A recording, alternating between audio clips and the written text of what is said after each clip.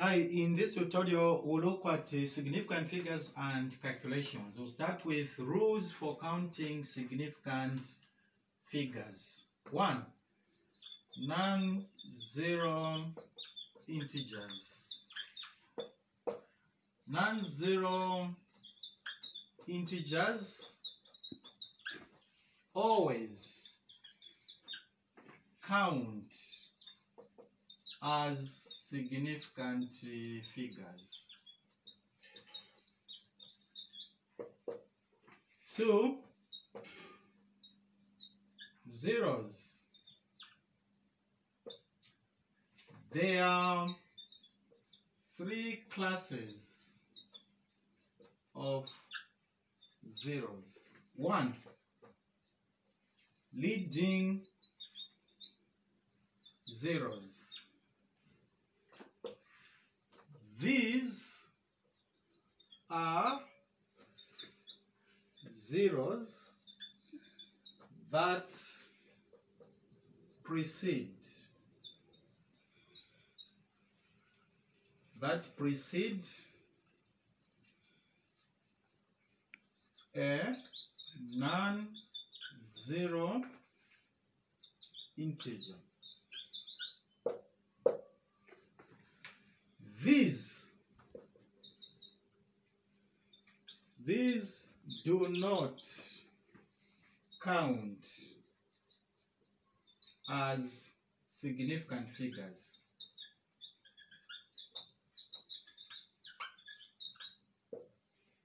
E.g., the number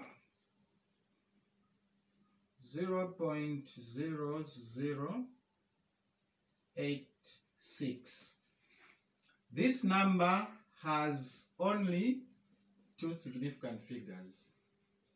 This number has two significant figures. The three zeros only show the position of the decimal point. Two, captive zeros. These are zeros between non-zero integers. These always count as significant figures.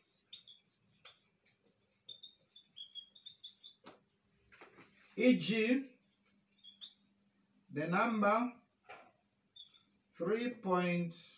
3.0064. This number, these are the captive zeros, so this number has five significant figures. This number has five significant figures.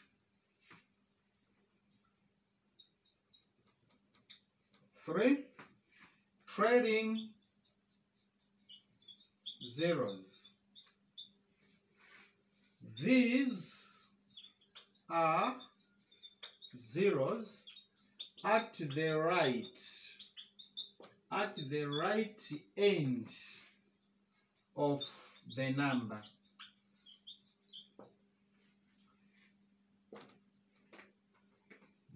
These do not count as significant figures, or you can say they are significant. They are significant only if the number has a decimal point e.g. 0.520 this is a trailing zero. So in this case this number has three significant figures. One two three. This is a trailing zero. Because of the decimal point it is significant. This is a leading zero. It's not significant. The number written as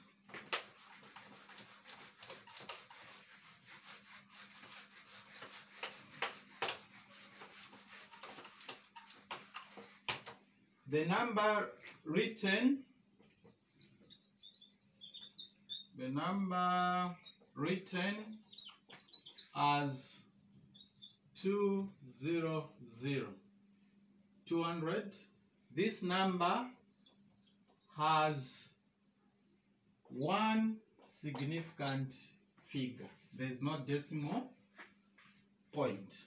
Then the number written as 200 then with a point there this number has three significant figures.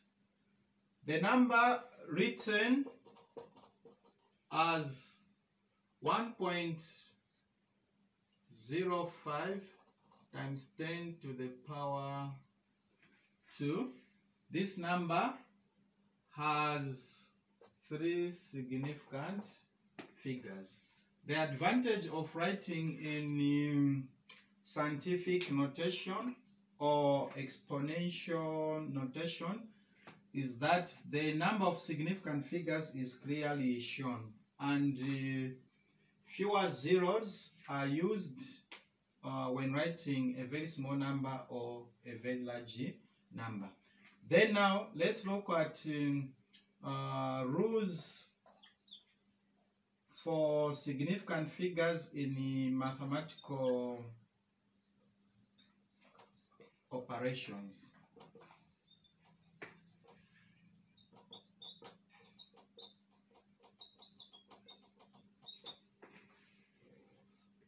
One, for multiplication and uh, or division, the result, the result has the same, the same number of significant figures. of significant figures as as the number as the number with lists, precise measurement used in the calculation. E.g., let's say 4.52 times 6.8. In this case, limiting term, this is a limiting term. Limiting term has two significant figures. Limiting term has two significant figures. So now we multiply uh, 4.52 times 6.8. We have 30.736.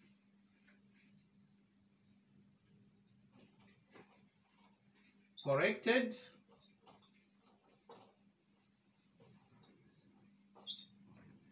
we know that our final answer should have two significant figures. Then we are going to round. So in this case, the correct answer is 30.7. For two, for addition, for addition or subtraction, the result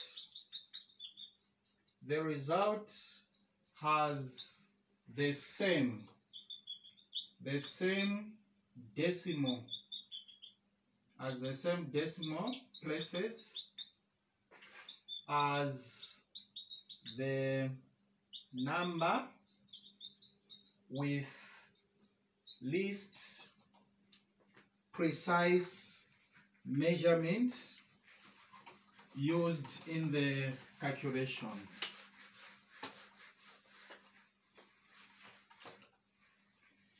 With least precise measurement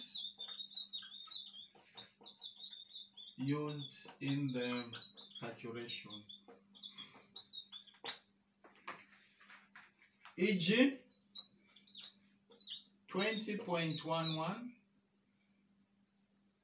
8.2 1.5 0 if we are to add so in this case this is the limiting term limiting number or term has one decimal place. If we add 20.11 plus 8.2 plus 1.50, we have 29.81 corrected? In this case the final answer should have one decimal place